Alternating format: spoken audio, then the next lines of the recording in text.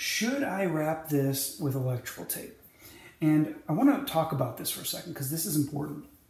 A lot of people will do that. This seems to be, maybe I'm wrong here, but a little bit of a Midwest thing. In Illinois, in particular, Northern Illinois. I've worked in Chicago, I've worked uh, down south uh, by St. Louis, a lot of these places. And it seems to, a lot of people wrap this in uh, tape. Okay, some people don't. A lot of people who come to the Midwest always say, "Why do you guys do this?" Well, here's the thing: the code doesn't tell you if you should or shouldn't. Okay, they don't mention it, so it's not in the code saying you have to do this. Okay, here's my personal thoughts on it.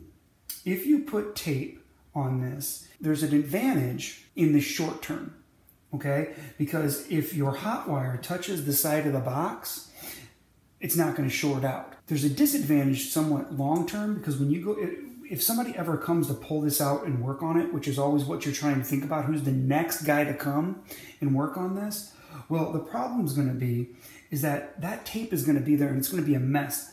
And adhesive is no matter what tape you're going to use, it's not going to last forever, especially if you use like this like cheapo tape right here. Oh gosh, no, it won't last four or five years. So um, here's my recommendation. I'm not going to personally tape it. That's fine. If, if you disagree with me, that's totally okay.